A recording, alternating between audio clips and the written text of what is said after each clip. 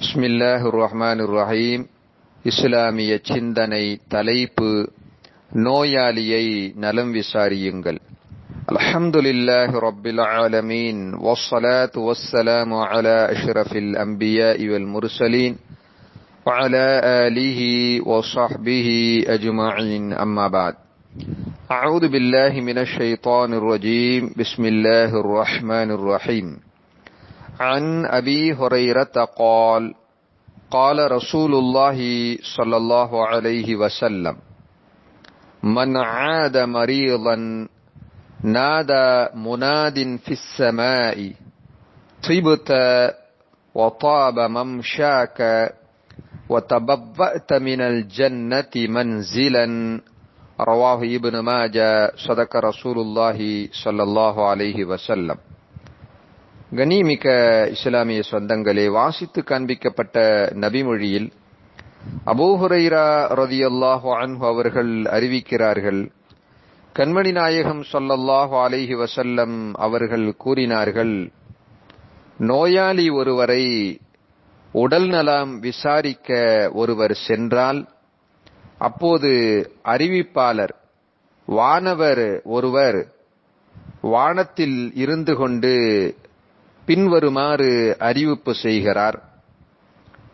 நன்றே வாழ்க உம் நடை வாழ்க சொர்க்கத்தில் உயர்ந்த இல்லம் ஒன்றை நீ தயார் செய்து கொள்க என்று அறிவிப்பு செய்கிறார் என்று கண்மணி நாயகம் சொல்லல்லாஹு அலைஹி வசல்லம் அவர்கள் கூறிய நபிமொழி.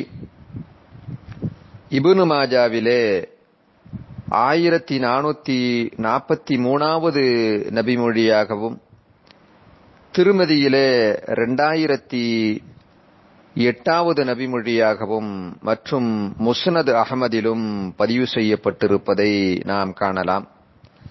எனவே இந்த நபிமொழியில் ரியாதத்துல் மரீத் நோயாளியை நலம் விசாரிக்க செல்பவருக்கு கிடைக்கின்ற வானவருடைய துஆவை கண்மணி நாயகம் சொல்லல்லாஹு அலிஹி வசல்லம் தெளிவுபடுத்தி காட்டுகிறார்கள்.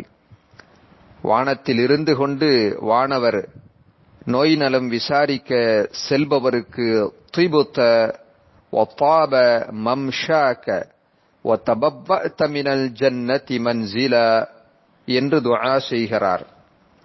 நன்றே வாழ்க உம் நடை வாழ்க சொர்க்கத்தில் உயர்ந்த இல்லம் ஒன்றை நீர் தயார் செய்து கொள்க என்று வானவருடைய துஆ நமக்கு கிடைக்கிறது என்பதை இந்த நபிமொழி நமக்கு தெளிவுபடுத்தி காட்டுகிறது மேலும் عن جابر قال قال رسول الله صلى الله عليه وسلم من عاد مريضا لم يزل يخول الرحمة حتى يجلس فإذا جلس يغتمس فيها رواه معطى مالك وأحمد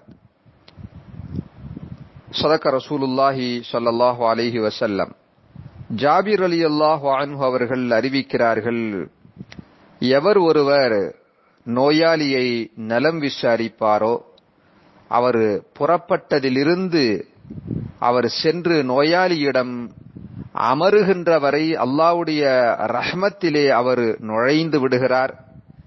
சென்று அந்த நோயாளியிடத்தில் அவர் அமர்ந்தால் அந்த ரஹ்மத்திலேயே அவர் நிலை பெறுகிறார் என்று கண்மணி நாயகம் சொல்லல்லாஹு அலிஹி வசல்லம் அவர்கள் கூறிய நபிமொழி முஅத்தா மாலிக்கிலும் மற்றும் முஸ்னத் அகமதிலும் பதிவு செய்யப்பட்டிருப்பதை நாம் காணலாம்.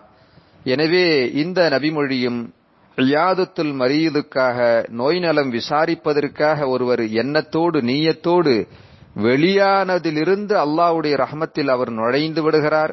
சென்று நோயாளியிடம் அமர்ந்திருக்கும் காலமெல்லாம் அந்த ரஹமத்திலேயே அவர் நிலை பெறுகிறார் என்ற ஒரு அற்புத நன்மையை நமக்கு இந்த அழியாதத்துல் மறியில் நமக்கு பெற்றுத் தருகிறது என்பதை இந்த நபிமொழியும் நமக்கு தெளிவுபடுத்தி காட்டுகிறது. எனவே நாம் நோய் நலம் விசாரிப்போம் சொர்க்கத்தின் இல்லத்தை பெறுவோமாக ஆமீன் யா ரப்பல் ஆலமீன் அஸ்ஸலாமு அலைக்கும் வரஹ்மத்துல்லாஹி வபரகாத்து